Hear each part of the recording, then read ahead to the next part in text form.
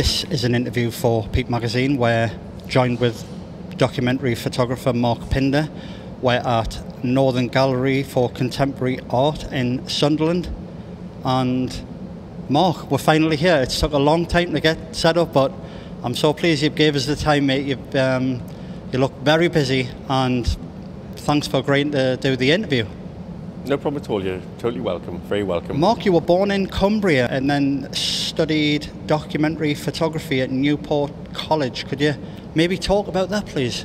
Uh, yes, I um, I studied there from 1985 to, uh, to 1987, gaining uh, an HND in uh, in documentary photography um, under the uh, the Magnum photographer David Hurn. Uh, in 1987, I returned back to the northeast where I'd left four years earlier and started working as, uh, as an editorial and uh, documentary photographer, working for trade unions, uh, social issue magazines like Health Service Journal, Local Government Chronicle, Inside Housing, um, and then the venture newspapers, television production companies, etc. Did you go to college with um, Paul Reas? Kind of. Paul was uh, Paul, Paul was a couple of years before me, but he was actually working as a technician there at the uh, at, at, at, the time. So so you didn't actually meet. You didn't into. No, no, no. He was a technician. So um, so yes, we knew we, we knew each other. We used to kind of like socialise quite a lot, and uh, no, Paul, Paul, Paul know, know each other well. Oh right. So did so, you um, maybe compare tips and compare like shots or? Um, no, not really. I mean, everybody kind of pretty much got on with what they were what they were doing. I mean, I mean, it was all very. I mean, it was a very nice place to study because the, the department was very very small. I mean, it was only a two year course uh, because Hurn himself um, didn't actually want to run a degree course. Yeah, he thought that he could actually teach, you know, how to be a documentary photographer in uh, in two years, and it was and, and, and also kind of like didn't really want to. Um, academize the, uh, the you know the uh, or intellectualize too much the whole process, even though the um, it was actually it was actually very very rigorous. The uh, you, you, know sort of like the background and the uh, you know the discussions. Um, but yeah, we all looked at each other's work, but it was um, it, it, was. Um, it was more ad hoc than that. It was, uh, it was a very, it was very laid back, very, very, very laid back place to be. And at the same time, it kind of wasn't, and I expected, you know, sort of like they were quite rigorous and uh, they were quite hard as well. But um, but no, good, very good two years. Was it straight after that you come you come to Newcastle? Yeah, I moved back to uh, Newcastle in uh, in July um, 1987. Um, I mean, my options then were either stay in Wales, which I didn't fancy, um, move to London, which is where most of uh, most of my uh, kind of contemporaries did, you know, um, or or come back to the northeast. And I'd lived in London a couple of years before that, and I just I didn't really fancy going back to London. So as I came back to Newcastle. I mean, the burning question mark is what possessed you to come to Newcastle, uh, Scotswood? um, money. Um, you know, it, it was you know, I, I, mean, when I first moved back, I, I, I, did six months on the dole just to I could um, qualify for the enterprise allowance scheme, which is that scheme which the government had, I think, to massage unemployment figures, whereby you could do give you forty pound forty pound a week for a year just to, uh, to keep you off the dole, and um, you know, still get your housing benefit paid. So, so it was just a case. It was finance. It was, uh, you know, I, I was skint. I had no money, and um, you know, trying to rent a flat or, or, or a house somewhere like Jesmond or uh, wherever was just sort of forget it. And I'd, yeah. I'd, had enough of communal living. I did not want to live with anybody ever again. I did not want to share a house with anybody ever again. Yeah, yeah. So what was that kind of like a like a, y, a YTS scheme or something? No, no, not at all. It was a thing that the uh, the government did called it called the Enterprise Allowance Scheme, and you had to kind of. Um, show willing you had to kind of put up a thousand pounds which you either borrowed whatever, just to show that you actually had some kind of like starting capital to actually become a, an entrepreneur, you know, and sort of, uh, you know, in, in, in, you know, in, in the 80s when, uh, you know, and that kind of, that kind of thing was like all the rage, you know, sort of small businesses and that kind of thing. So, um, yeah, you got, you, you, got, you got the money for, uh, for a year. Um, and I just kind of like, I just messed around for a year really, sort of, and then sort of like kind of got to the end of the year and thought, oh shit, I better, I've, I've got, I've got to go and start, start making a living now. Yeah, yeah, of course. So you uh, you found yourself in Scotswood. Yeah. First impressions? Um.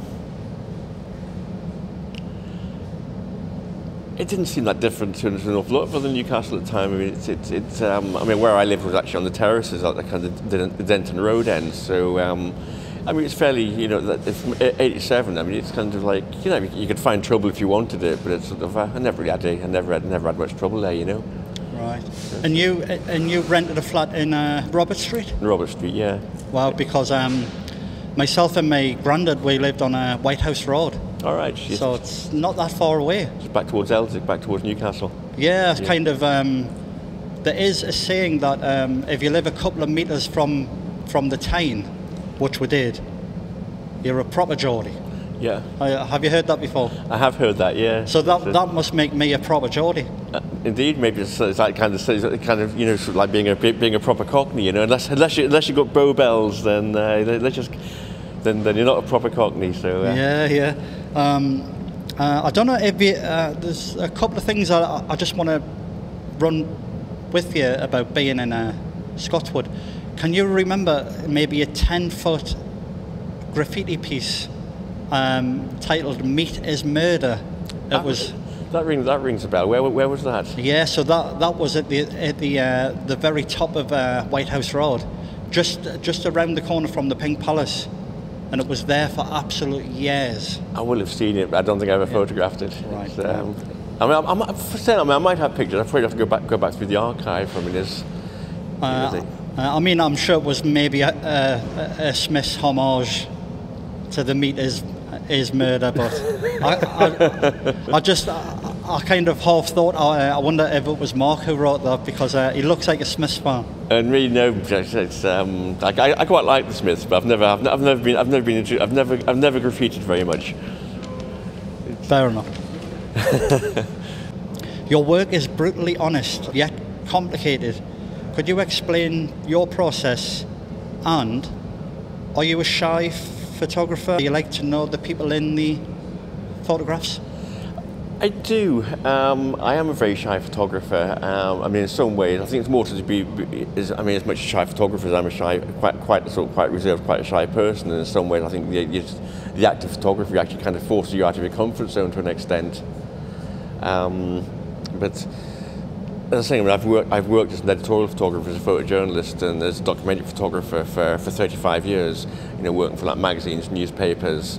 Um, I mean, I started working for you know the trade unions like uh, you know Nalgo, um, NUPE, Transport General Workers Union, because that was kind of allied with you know the kind of stuff that I was interested in, politics, um, social process, um, and that kind of thing. Um, so as, as, much as possible, I did actually try to um, kind of point my kind of my commercial work in a direction that would actually allow me to kind of fulfill as much of my, of my personal work as possible. Um, it didn't always work like that. Um, but I think the fact that I've actually managed to actually kind of produce this, this, this show um, is kind of testament to sort of like how it worked to an extent. And that's, I, I always had an idea about what I, um, about what I wanted. And there was actually a very important book called Survival Programmes, um, which came out in the uh, in the early 80s, which was like a like a snapshot of Britain in um, from 1975 till 1979 when Thatcher came to power. And this is kind of like where this like the name Macromancy comes from, in that most people who see Survival Programmes see see it as being a book which is about poverty or about deprivation or about slum housing, which it is, you know, very much in keeping with the, sort of the kind of work that, that photographers like Nick Hedges were doing, you know, for shelter back in the 60s that helped to put, you know, housing onto the, uh, you know, the kind of the political and social agenda. But within that as well, um, there was a lot of other pictures as well showing, you know, the civil war, civil war in Northern Ireland, for example, um, you know, trading floors on the City of London, um, you know, kind of political party press conferences, and and, and it was so there's like so within the kind of like the micro story you know of like kind of of, of the individual the conditions that they were living in the social conditions there was like a much broader story which had to kind of contextualized that within what was going on you know the sort of, you know the deregulation of capitalism the financialization of the markets um, you know the sort of you know the sort of essentially like the, the Thatcherite, uh, you know, the, you know, the, the, the, kind of like the Thatcherite changes to kind of British society. That were to come, and, and this is where the idea of like macromancy comes from, is the idea of trying to get a broad, a, a, um, like a broad overview to, uh, to try and get some sense of what of where the future is going, and that I believe that kind of politics is very much um, done very very gradually. Um, quite simply because if, if you actually stop now and look back, if, if, if you could actually bring come forward from 1970 to today and look at what Britain had become, I think you'd actually be quite horrified. But I think it's just been done so incrementally. It's like you know, it's like boiling a frog. You know, it just gets done slowly. So until you actually notice that kind of like, oh God, it, it, what's happened when you actually stop and look back, you don't actually realise because it's been done so slowly. And I think that's been done on purpose. Yeah, yeah, of course. I mean, why we're here today is 35 years of work, uh, including coal miners, Scotswood, political and economical observations, and all within a book called Macromancy. Yeah. Um, could I ask wh- why why that why that title and what does it mean? And I think you've already answered where the inspiration comes from, but yeah. but maybe could you elaborate on that? Of course. Um, I kind of touched on that a moment ago. Um, but is this idea of trying to um, work more globally or, or, or, try and produce a kind of like a body of work which is more about the sort of the macro, you know, about the about the larger issues than the than the smaller issues. But the way that I've done that is by is, is by is by drawing images or drawing work from smaller from from smaller projects um, to actually fit into the uh, into the into the into the macro narrative. Um, mean, there's, there's, there's, a lot of stuff missing here, um, and that's as much to do with resourcing as anything else. In that, you know, sort of um, trying to actually work as an independent photographer um, can actually be very, very difficult. Um, from, from a resource point of view, in, in that you can, you, you can either end up in a situation where it can be like incredibly time poor, where you're working on stuff which doesn't necessarily fit, but you're making you're, you're living, or you can actually have a lot of time, but you're making no money. So it's trying to sort of like kind of find that balance, that, that, that happy balance. And um, yeah, I mean, there's a lot of stuff that I would really like to have done, but just I just didn't have the resources to do. But, um, but I, th- I, think hopefully it fits together. Hopefully it makes sense. Um, I mean, I think it's a fairly multi-layered piece of work, you know, and that. You know, that of obviously I've been working for 35 years. I'm 56 years old now, so I mean, so an awful lot of what's actually on these walls is going to be um, ancient history to a lot of people. Um, but at the same time, I hope that it kind of like sort of like it's, it's, it sparks an interest that people look at it and go like, "That's interesting. What was that about?" You know, to try try and get some sense. And I, am saying I think different things will, will, will, will resonate with different people. Because I'm sure that old people will actually kind of like recognise an awful lot of stuff, like the black and white stuff on the wall. Whereas obviously the last chapter, or the, or the, third chapter rather, is more to do with like sort of like more more recent political events. You know, the rise of populism, the rise of the far right, um, you know, austerity, and um, and like at the beginning of the uh, in the beginning of the um, um, of the fight back, if you like, or the uh, or the resistance to like to, to, to, what to what is going on. Yeah, of course, um, and just to mention that the the exhibition is called Macromancy Britain and the northeast of England, 1986 to 2022. Yeah, Mark, I think it's a good little opportunity to chat about the um, the photograph right behind you about far right and mm. um, maybe yeah. So what's I, I, mean I know what's going on here, but could you elaborate on why you were there? Were you on commission, or was this a, per, a personal piece? No, this was um, this. I was on commission for the Independent or the Independent on Sunday, the newspaper and that day they sent me to photograph uh, an EDL march in, uh, in Newcastle. So um, where the assembly point was for the uh, for the march was uh, was down at the central station. Yeah. So um, I kind of turned up and just as just all these guys that stood on this you know stood on on the wall outside the outside the Roman Catholic Cathedral. Uh, probably had a few, a few, a few drinks and uh, and um, but again it's like but the reason I've actually included this because I think it's probably quite a strong picture, but it also talks about the way that kind of history to me is um, is recursive. You know, you'll, you'll, you'll, get themes that you know appeared 30 years ago, 40 years ago, 20 years ago, which kind of like never go away. You know, mm. so I mean, obviously on the, on the other wall in the black and white section there's that photograph from a British National Party rally in Sunderland. You know, so obviously it's kind of it's the far right, but from from two completely different eras, but the, they, they, never go away. Just kind of transmogrifies into um, you know, into something else, or uh, they'll find a different issue to, uh, you know, to uh, to exploit. Yeah, of course, of course. the government closed the collieries in the 1980s, but I've looked through your work and I can still see um, what was titled Coal Scavengers in Easington Colliery in, a, in around 1987. Could you could you explain what were they doing? Uh, it looks like they're, they're, collecting coal, but but the industry had kind of died for the um, the engineering uh, industry. So, what, were they were they collecting coal for a, a personal reason or different reasons? I mean the. Um I mean, most of the, a lot, a lot of the pits were closed down uh, after 1985, after the miners' strike of 84, 85. Um, but there was still quite a lot of uh, there was still quite a lot of pits left, and one of them was Easington. Uh, Easington didn't close down until 93, I think. Um, 92, 93. I mean, the announcement was made in the uh, was made in, in 92, I think when um, you know, that was actually under the major government, and it was Michael Heseltine was the um, you know was the uh, um, was the industry secretary at the time. So what this was was um, the colliery itself was actually on the headland above the beach at Easington, and the um, they would bring the coal up to the surface.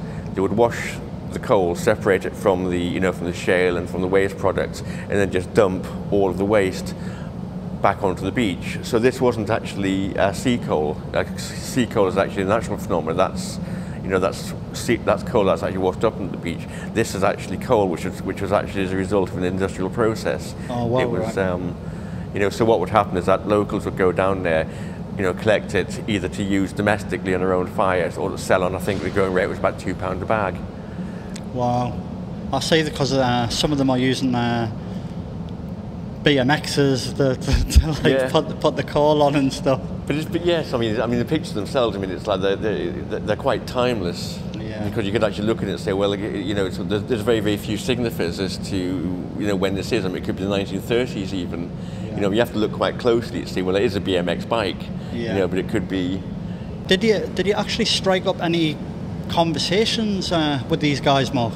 We did, um, but it's I wouldn't say it's, it's impersonal, but it, it's. Um, I never like to intrude too much. Um, I mean, the, whole process of photography is, you know, is um, it, it, it, can be kind of like can be seen as intrusive, and I do think you have to be careful about why you're actually doing things. Um, I mean, I've, I mean, I, I, do know photography tried to photograph this and not had too much success because just been been chased away because I think, oh, are you from the social or are you are you there for whatever? And uh, oh, I, right, I, yeah. I, never had that problem. Yeah. You know, sort of, I mean, obviously, I didn't I didn't really want to start asking people's names. Yeah. You know, I'm getting you know sort of. You start sounding a bit like the police. You start sounding a bit like the police or something, you know, and it's sort of like, um, you know, but no, I mean, it's like I had no, no, no problems, no problems at all. Wow, it's absolutely amazing. Yeah, for the for the people who don't know, coal was a lifeline for the the industry and played a huge part in the northeast's economy. Coal was fuel for the steel, the heavy industry, the engineering. But sadly, I mean, we're maybe touched now on maybe the government, Arthur Scargill, uh, Margaret Thatcher. I was. I mean, obviously Thatcher came to power in 1979. I mean, I was only do the sums. Um, I was 13. I was you were maybe there for the tail end of it. Yeah, I mean, I, st- I mean, I started working as a photographer in 1987. Um, I mean, some of the early pictures, the, I mean, the picture of Margaret Thatcher in the show was actually shot when I was still a student at Newport, and that was shot in uh, in July, June, July, May, June. It was it was, it was the election of 1980, 1987. Um, no, sorry, that picture, the picture in the show was actually shot when I was actually working, that was shot in that, that was shot in Perth in Scotland in 1989. Um, but I had actually photographed Thatcher and the Tories, you know, the Conservative Party conference in 1986, which is like where the 1986 of the show comes from, because that's the that's the earliest work. Um, and the way that the show is is, is kind of like narratively structured is Britain and the Northeast of England, 1986 to 2022. So it's not exclusive about the Northeast, but it's, but again, coming back this idea of like kind of like macromancy, but it's the, the idea of how um, broader politics play into the social dynamics, the economic dynamics, the political dynamics of, uh, of, of, this region. So, the, so it's the first um, half dozen pictures or uh, uh, so aren't particularly specific to the Northeast, but just kind of like play the, you know, kind of like um, exist to, uh, to kind of like place the project within the kind of political context of, uh, of Thatcherism at the time. Yeah, of course. Uh, Do you do you get a sense of achievement that you have photographed an icon? Do you look back and think, yeah, I've been there, I've done that, or, do, or have you got no feelings or or what? Um, I'm not sure. I mean, I, I, th- I think the problem, well, not a problem, but it's, you know, it's, I, I think at the, at the time you, um, you never actually kind of like see the significance of it. It's only actually when you come back 30 years later or 25 years later that you actually see how much has changed, you know, and how kind of, how kind of iconic these characters are, you know, in a good way or a bad way. You know, it's, uh, you know, I'm not, I'm not, I'm not going to cast, um, I'm not going to cast judgment on that. Yeah, of course. You know, that's, I mean, this lady is not for turning, but uh, I will, I will just add that um, Thatcher actually stopped milk in schools, and I thought that was a complete travesty um, to stop all them kids from getting milk in primary schools, and um, and and I and I know for a fact that some of those kids looked forward to that milk because they skipped uh, breakfast or they couldn't afford breakfast. yeah. So, you know, she had to live with that, and uh, she's long gone now. Yes, of course, but um, I just feel it's, you know, it's. I just feel I should say something uh, about that because I actually heard about kids looking forward to that milk. we've had, you know, 40 years since then to actually look back and say, well, it didn't work. Yeah, So to then to actually continue these kind of kind of austerity politics and this belief in the kind of like neoliberalism and the uh, you know and the sort of uh, you know and the uh, and, and that free market fundamentalism to me is um, is just wrong. It just it just feels perverse. You know, with, I mean, you know, with Thatcher, you could kind of you could, you could argue that yeah, yes, she was wrong, but at least she believed it. But then 40 years later come along and still actually, you know, hang on to the same kind of ideology just feels, it feels cruel. It's, it, it, it, it, it doesn't feel right. I mean, I've actually got more contempt for a character like Cameron, for example, than I have for Thatcher. You know, I mean, obviously Cameron is kind of, you look at him and think, oh, he's sort of, you know, he, he looks more normal, or you look, you know, he, he doesn't seem, he, he doesn't seem as um, um, zealous towards the project. But like I say, to actually continue the project despite the evidence to uh, to, to its failure, it to me just seems unforgivable. yeah, of course.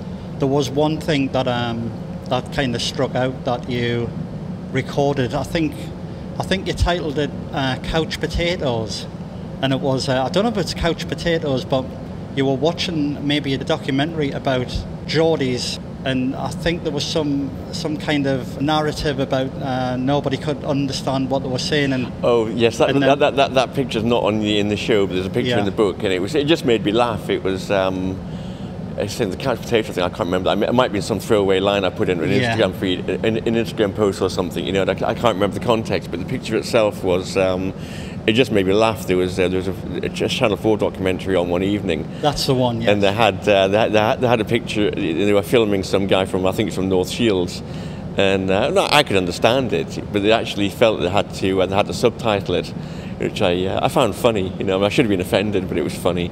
And, that, uh, um, and I think you wrote something like uh, it reminded you of the movie Airplane, where um, oh, I, I, excuse me, I, can speak jive. I jive. speak jive. Yes, excuse me, I speak Geordie. I speak. Geordie. Yes, that's right. I speak Geordie. Yeah, Mark. Um, I'm fascinated with this shot with the two guys on the, uh, on the bike. I, I presume you slowed your shutter speed down and then kind of panned. Did you pan that uh, that through? I did, yeah. Well, I guess I, I, we're probably looking at. Depends how fast go. Probably looking about maybe fifteenth of a second or maybe an eighth of a second. Just uh, you know, just yeah, just kind of just just just panned it as uh, as they as, as they came past. Yeah. And that's like that's the old um, Stella Power one of the, one of the Stella Power Station. I'm not sure whether it's north or south. In the in the background, that one that was shot in, uh, in Lemington, just uh, at the far, far west end of Newcastle. Yeah, so b- by my gauging, that's about from, let's say, from the Robin Adair, that's about half a mile to a mile along Scotswood Road. Um, from Robin Day- probably about that. Maybe, maybe yeah. Um, Maybe two if- mile. If, if Bell's close in Lemington, that's that's where it was. Yeah. So could you could you maybe talk about this one at, at the bottom mark in uh, Fenham? Fenham. Um, yeah, I was I was having a I was having a meal in um, Eastern Taste, which like the Indian restaurant in in Fenham one night, and. Um, came out and it just uh, there's not not this guy here but there was, uh, there was there was a bunch of kids who were just kind of out just kind of misbehaving and being a bit getting up to no good just getting up to no good. So I kind of like oh do you mind to take some pictures? And they were they, they, they were cool about it you know? So um, anyway so just like wandered around for like kind of the park taking pictures and uh, anyway, this, this, this, this lad came walking up the street with his dog, and they must have known him. And it was like, Mister, Mister, show, show, show us your dog, show us your dog trick, show us your dog trick. So uh, anyway, so anyway, he pulled out uh, he pulled out his ball and uh, yeah, held the ball up, and the dog started jumping up and down to uh, to order. Wow, absolutely br- and, brilliant shot. What one one of the things as well, Mark. I don't know if you agree with this, but I'm sure this happens up and down the country, but in uh, Fenham, like the West End or Scotswood, you would always you would always encounter something really strange um, yes. within your first half hour there. Whereas everyone had a dog. Yep. Uh, it was either like an Alsatian or like pit bulls weren't uh, really in there. They, they, weren't really fashionable in those yeah, days. They weren't, yeah, it was more your Alsatians if you had a Doberman, you were kind of posh. Yeah. But um, and then you would always see like a guy walking around with a TV. That would be like a common occurrence. Mm. Someone walking around with TVs in their arms, yeah. or pushing a pushing a TV in a on a shopping trolley or something like that. Um, could you maybe, if you've got any in your head, could you maybe talk about any any obscure experiences you've you've had down uh, Scotswood or anywhere for that matter? um, I suppose the most obvious one is like the day that I came out of uh, the, the, the, day that I came out and walked down my street in Robert Street and then found somebody that stuffed a uh, burnt out mini down the or talked to mini down the uh, down the steps of the old Scotswood station. Yeah, that's um, that is, if I remember correctly, that is the bo- the bottom of St Margaret's Road. Um, no, bottom, bottom Robert. Yes, it was St Margaret's Road yes. run, run, along, all and, the way and, down, and Robert Street kind of came into it because that was the old uh, train station. Yes, the old Scotch, just just above where the Robin Adair, Robin Adair used to be. Yeah. So yeah, yeah I, had to, I, had, I had to walk the long way around rather than go down the steps. saying it doesn't exist in any, any, any, dictionaries, but it does actually. There are actually definitions for it. It's like a different, it's like a di- measured divination because obviously you've got like necromancy, which is divination by dead, by you know, by dead things or dead people, and obviously the word mancy is is divination, and macro is is large, and obviously this is what I was kind of talking about before, was this idea about trying to um, trying to get a sense of what the future is going to be from from from from the from the broader picture. So, but the the definition that's kind of online, or the various definitions around, it, is macromancy. Macromancy is divination by the largest thing nearby, derived from the Greek ma- from the Greek makros, large, and manteia, prophecy. Yeah, so now we're looking at uh, one of the pages. We're getting pissed off with you um, from Macromancy, and um, this is what we were talking about with the Excuse Me, I Can Speak Jive. Ah, yeah, um, what's actually going on there, Mark? Because is, is he handing him some kind of coin or something? Um, no, it's the Tallyman. It's the uh, what this was is like it was the, the last ever production shift coming off at uh, Vane Tempest Colliery in Seaham uh, the day that the mine the, the mine ceased production. So um, so it's, it's, it's, it's tally. So you you you'd kind of have a token.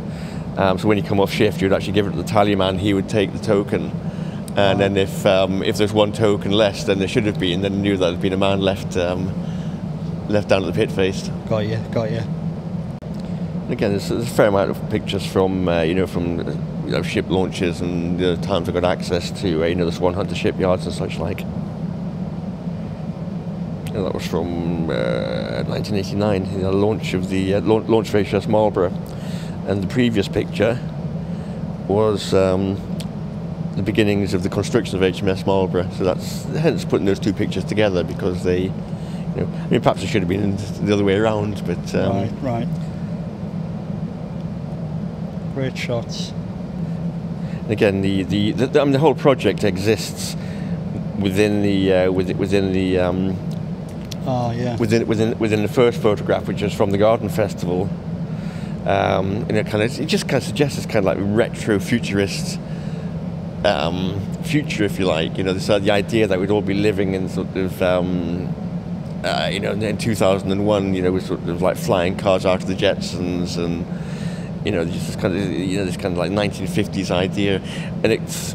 It, it, but it references the uh, the speech that Harold Wilson made to the Labour Party conference in 1963, which was um, quite a famous speech, which his his great white heat of technological of uh, progress speech, um, whereby he kind of like envisaged this idea of you know sort of the days of industrial strife being over and like workers and management working in harmony to kind of like you know to, to build an advanced you know economic and uh, you know um, technologically advanced industrial society in Britain. I mean, obviously, it never happened because um, you know sort of we had we had the seventies. Yeah, of you know, course. sort of you know management didn't did, did, did, didn't invest. Uh, you know, a very a very, a, a very um, kind of like fractious. Uh, like industrial landscape, industrial relations landscape, which kind of laid the foundations for you know for, for characters like Thatcher to come to power. You know, sort of like we, you know, we've got to sort of um, we, we, you know we've got, we've got to um, you know curb the uh, curb the power of the unions, curb the power of the working classes. You know, to you know to build. Uh, you know, to build to build another Britain. So, so essentially, it was like it was a, it was a similar. In some ways, it was it, was- it was a similar vision, but but from but from completely different um, standpoints or com- completely different starting points. You know, whereas Wilson kind of believed in sort of like industrial revolution. You know, the you know the idea that kind of you know nuclear power would give us like unlimited amounts of un, you know unmetered electricity, and you know we'd, we'd all have the, the leisure time and the money and the um, you know you know to to do things to, to do things artistically or to look after the garden and be working three days weeks and it's the thing that never happened so Yeah. so that was the first picture the garden festival picture um, which is then contrasted with the very last picture which Wow. is the- that- looks that- like something from um, Ridley Scott's Blade Runner or something. Kind of, yes, but the, the, but the idea was to suggest that like this, this, this is like this, this is the dream being dismantled. You know, this is a spaceship. Forty years later, Yeah. Just um, going back to that um, first shot, uh, Mark. Yeah. that it kind of looks like a, a, a Californian um, Americana shot. Uh, it struck me as as um, as a shot from that era, but it's it's obviously in Su- Sunderland. um, Gateshead, yes, Gate- Gateshead, At- sorry. at the, at the Garden Festival. Yeah, I mean, it's really got that kind of Yeah, that retro futurist vibe to it. But that's but that's the um, like one of the main motifs running through the whole project is is science fiction. Yeah. you know, is um, you know, I mean, I, I reference it a few times in the uh, you know in, in the um, in the work, and let's let's find. You know, I mean, it's like here. It's like when the spaceship lands. You know, I get another photograph from the um, from the Garden Festival, but it's the idea being to suggest that sort of when reality kicks in. You know, when sort of like when you actually leave this space, it's you know, it's sort of like the it's just a dream. It's, it's, it's, it's it feels slightly illusory. And again, it's um, Oh, did we pass um, Narnia? oh yes, we'll come. Yeah, which I thought was um, Paul Paul Reas's shot. Paul- uh, Paul Reas's shot. I, No, no, it's, I, um, I, I do apologise. no, no, not at all. Um, but again, it's like we have, you know, it's kind of like this reference in this picture here. I mean, this is um, like referencing Blade Runner. You know, Oh, obviously, really? 'cause obviously Rid- Ridley Scott was from uh, from Teesside. Yes. So apocryphally, or so the story goes, it was, um, you know, it was it, it was the chemical landscapes of, or the chemical plant landscapes of Teesside that influenced the uh, that the visual style of that the cityscapes in, right. in, in Blade Runner. You know, so Oh well, that's really cool.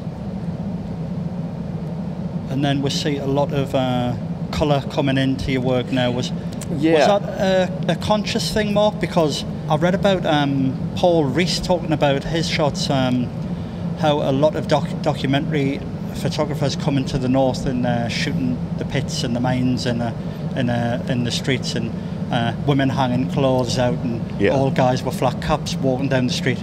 A lot of them were in black and white, and uh, Yeah. he kind of I wouldn't say revolutionised, but are you aware of some of his conversations about wanting to turn to colour? And did he talk about that with you? We did. I mean, I, I mean, it's kind of. Um, I mean, Paul was very much, um, you know, with, with, the zeitgeist of like what British documentary was doing at that time. That moved to uh, that moved to colour away from the sort of you know the gritty black and white. Um, you know, we obviously had like kind of you know very important photographers like uh, like like Paul Graham, for example, and uh, and Martin Parr.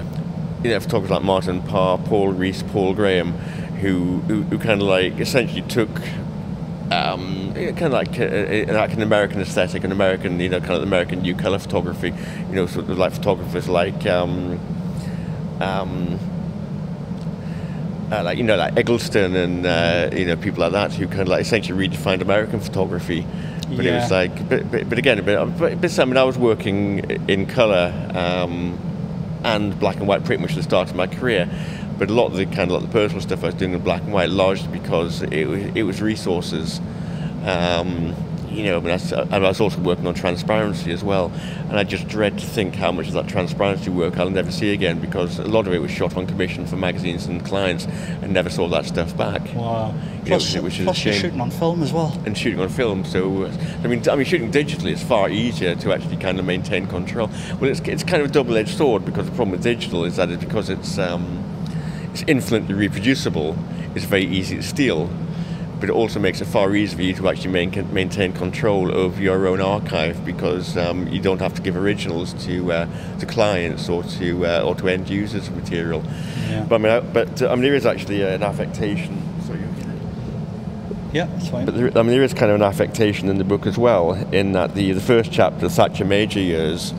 Um, is is purely black and white. I mean, I was shooting colour, so I could have actually included colour in there, but I decided not to. And it's a little bit like the Wizard of Oz. You know, it's you know they're in Kansas and it's all it's all mm. black and white. So when they get to Oz, everything turns to everything turns to colour. So I did actually make a you know a conscious decision to go from you know the sort of you know the documentation of the uh, you know the, the Thatcher Major years, the Tories years, and then everything suddenly became kind of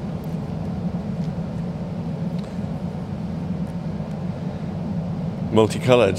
You know, when you know, it with like with, with, better, with yeah. New Labour, because obviously "Things Can Only Better" was like kind of things yeah. can only get horrible fucking song. Yeah. Um, but that was kind of taken on something. something so the whole thing is like there's there's an irony in the work.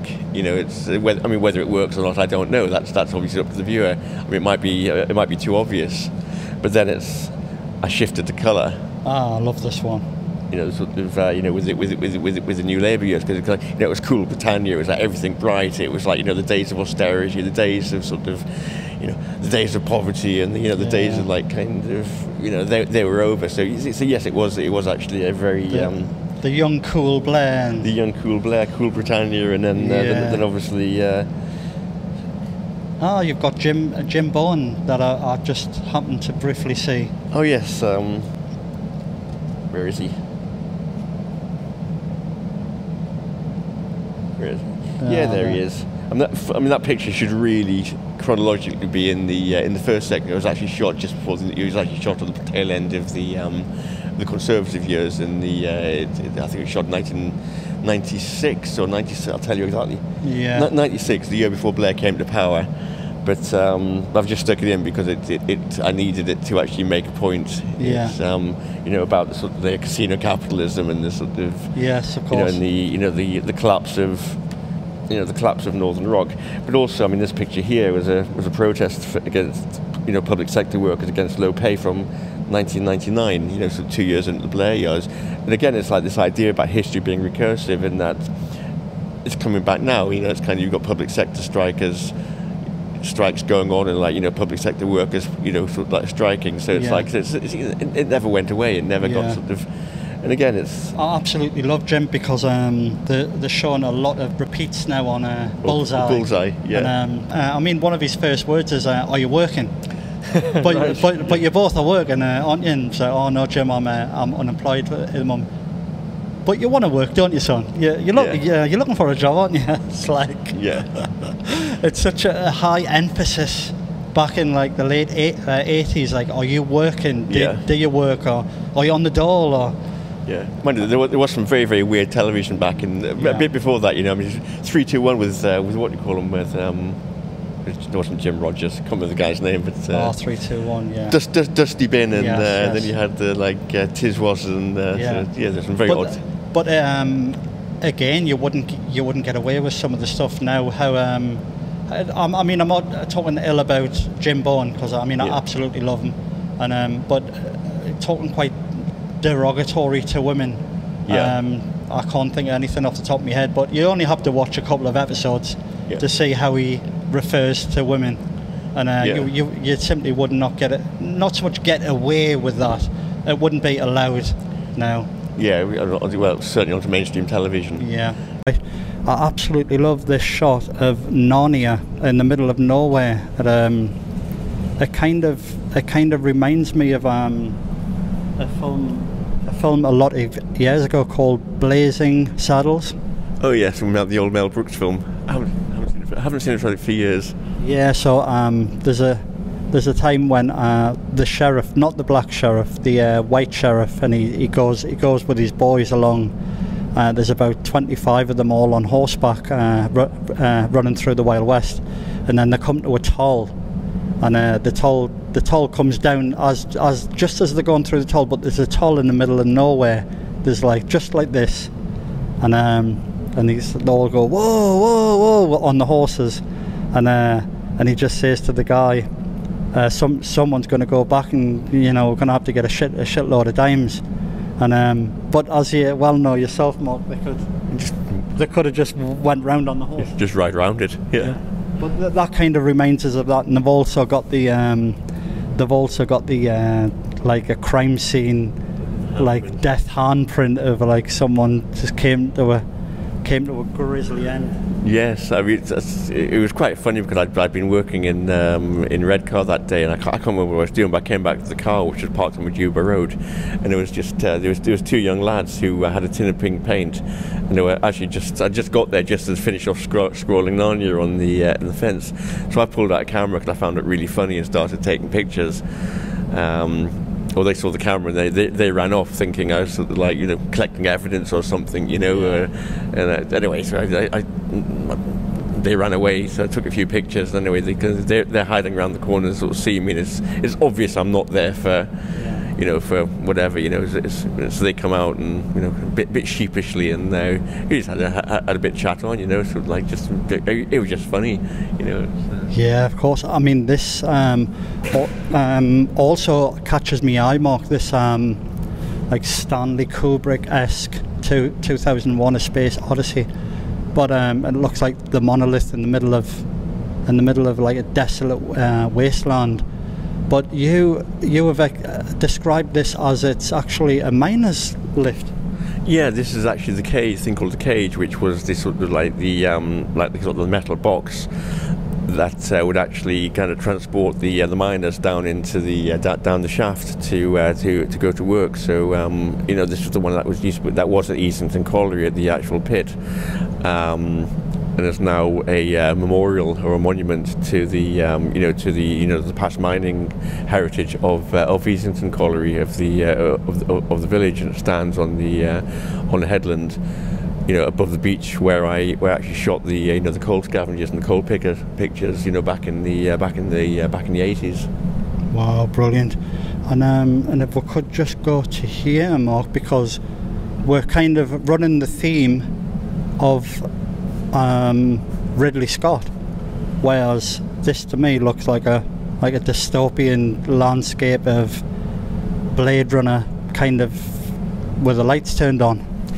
Yes, kind of. I mean, it's the this picture is mirroring the the first picture. It's the Garden Festival picture, um, and that was so. The, so the Garden Festival picture was very much this idea of like you know kind of like techno utopia. You know, we'd all be living, we'd all be working three day weeks, driving around in sort of flying cars, and you know living like the Jetsons. You know, sort of. Um, and obviously, it never happened. You know, so it, it's, to me, it's like this, this kind of almost acts as a, like a visual metaphor, or or, or, or um, you know this is this is the dream being dismantled. This is the this is the spaceship being dismantled. You know, so there's, there's, so there's a visual there's there's a visual echo of the first image and the last image. You know, the dream and the reality, or this is what happened. This is 40 years later, 35 years later. Wow, wow, absolutely brilliant. Um, and for all the for all the right or wrong reasons, Maggie Thatcher catches me eye again, um, and I think this is. I think you've got a little story here, Mark. Um, yes. Um, it's probably it's probably the greatest shot I've ever seen of Margaret Thatcher. Actually looks human there.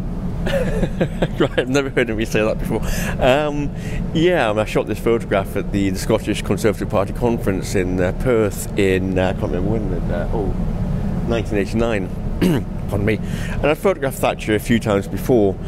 Um, in a you know in a, in a scrum situation, and um, firstly at uh, Wembley Conference Centre in 1986.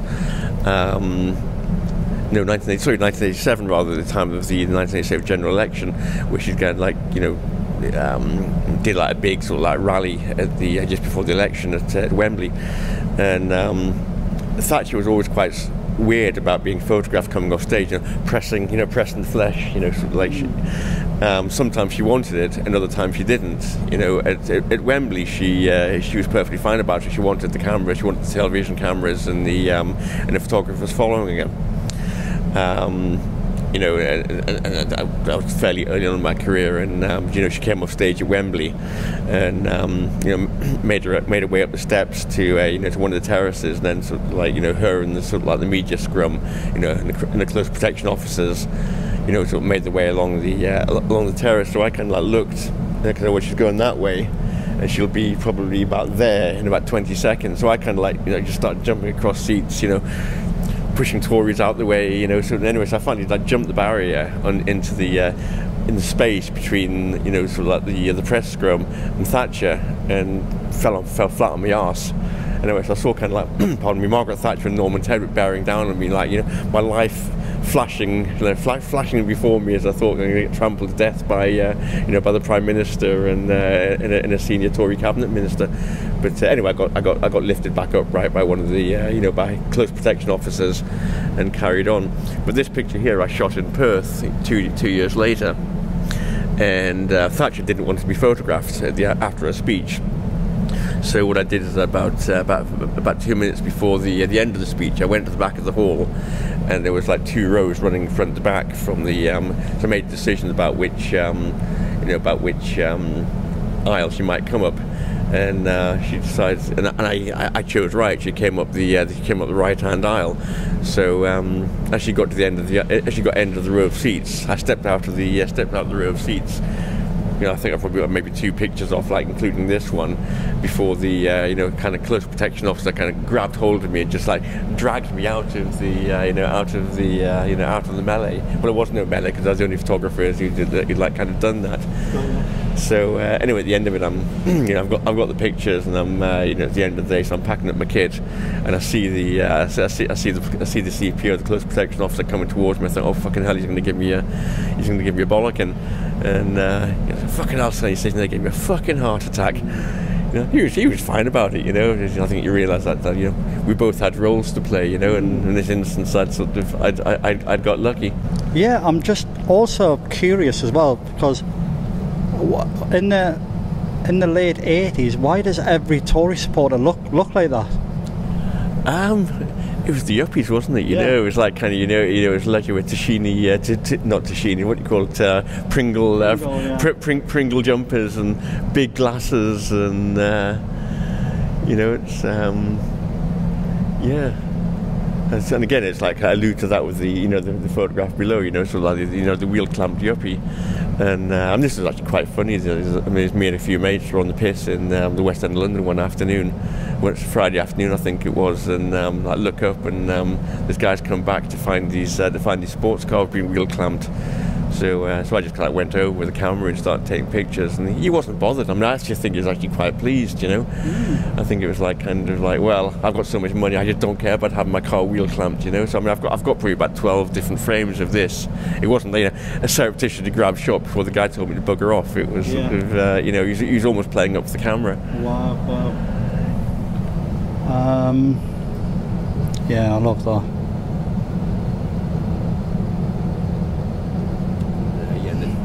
This picture kind of just acts as, pardon me, acts as like a, um, it's like kind of like a visual metaphor. It's like a kind of like a visual device to kind of like shift from, you know, from you know, from the sort of like Thatcher, you know, non non northeast pictures through to the northeastern the, the, the, northeastern narrative. You know, so I mean, this this is just shot in the uh, in the Tyne Tunnel.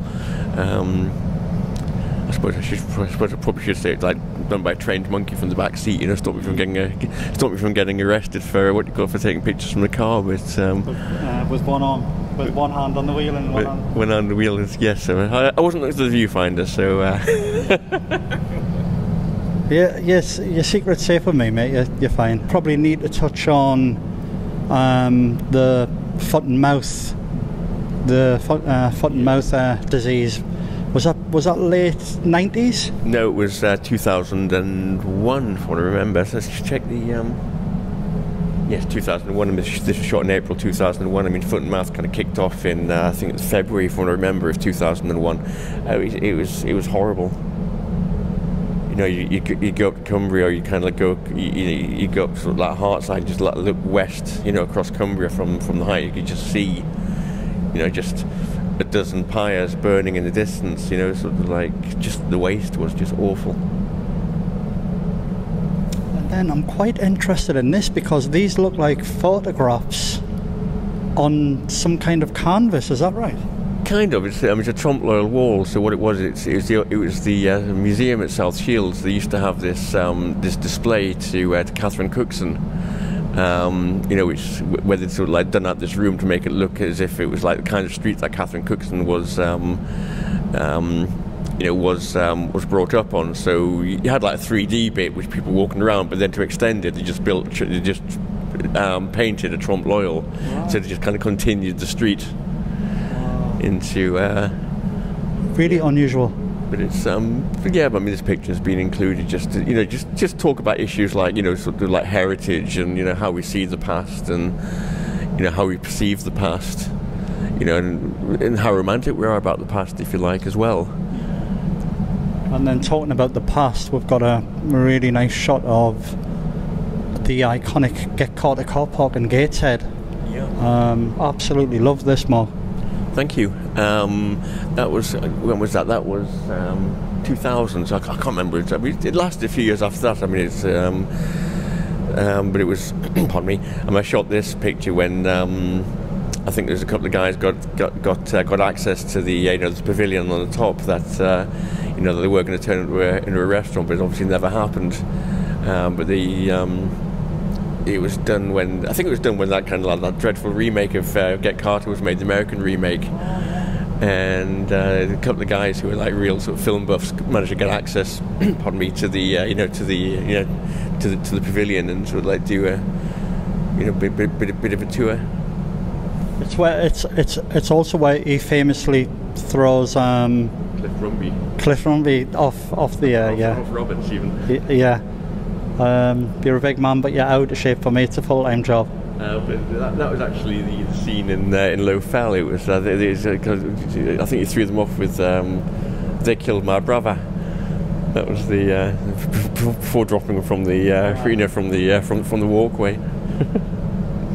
Another classic film, isn't it? Yeah, I mean, I mean, the, I mean, the, the whole project you know, is, is, is kind of multifaceted in that, it, you know, there, there, are references to things like Get Carter, to, you know, Blade Runner, you know, just, just kind of all of the cultural references that, um, you know, th- you know that, that, I, that I draw on because strange. I mean, you kind of think of like documentary photography as being is being about document about you know about documenting the external, but at the same time, it's there's, a form of autobiography here as well, in that it's as much about the references, the cultural references that actually influence me in what I decide to photograph, or how I or how I decide to photograph, or how I choose to sequence this um, you know this this, this this this piece of work.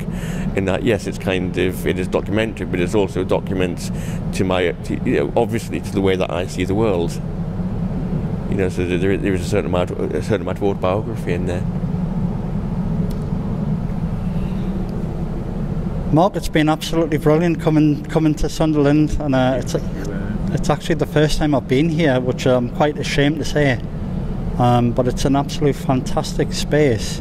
It is a great space, isn't it? It's just um, it's just a shame it's not going to be here for much longer. Because obviously the, uh, the the glass centre's um, you know, scheduled for closure in a year, in a, in a, in a couple of years. But um, but yeah, it's a, it's, a, it's a brilliant space to be uh, to be exhibiting in. You know, and it's and again, it's like you know, it's, it's such a good opportunity as well. You know, it's I mean, I've not really done much uh, exhibiting for the last uh, you know the last 30 years or so um, having tended to um, you know kind of been working on you know sort of like you know making a living really so, uh, you know so when when the NGCA kind of came to me uh, three years before lockdown and said would you like to do something? I just kind of obviously I jumped at the opportunity you know I mean, especially when there was a book involved as well for the people who don't know more, could you um, could you tell where, where the exhibition is, when it starts, and uh, when it ends, please? Yeah, the exhibition is at Northern Gallery for Contemporary Art, which is uh, downstairs at the Glass Centre, um, at the far end of the uh, the far end of the cafe or the restaurant, and it runs from the uh, the fourth of February till I think the seventeenth of um, maybe March, so it's about seventeenth or eighteenth of April, thereabouts. Not exactly, but it's on it's on it's on for just over two months. Um, it's free. Um, I can't remember if it's actually uh, closed on a Monday or not, but uh, obviously check that out. Make I think it's I think it is actually open on a Monday, but uh, but check that out. But it's um, yeah, two months. You have two months to see it. Mark, thanks a lot. It's been re- really great chatting to you. I'm, um, I've been a fan of your work. I've looked at your work for many years. I actually wanted to get in touch with you about two, three years ago. Yeah. But then, it, uh, you know how things go. I think there was like uh, lockdown and stuff. Um, everyone's priorities change, but like I say, the shots from uh, Scotswood, you've really captured the imagination, and you've created like a space and time with uh, with those shots. Uh, whereas mm, I can't think of anyone else has profiled Scotswood the way you've documented the whole entire place. So thanks for that, mate, and uh, I really appreciate that because uh, it's somewhere where I've spent a lot of time and I know the places. I just have to flick through the pages and I know where I, I know exactly where you've been. So thanks for that, mate. Thank you, thank you. I, I hope it, um, you know, I hope it resonates with, um, you know, everybody who sees as well. You know, I think, I think depending on how old you are, it will, it will, it will resonate in different ways. But um, I just hope it creates a discussion, or just, you know, just, or just, you know, creates a, uh, just an- another way of looking at the uh, looking at the northeast, really, or just kind of you know, you know, the everyday, really, but a different way of seeing the everyday. But again, yes, thank you, thank you very much. No problem, Mark. Thanks a lot.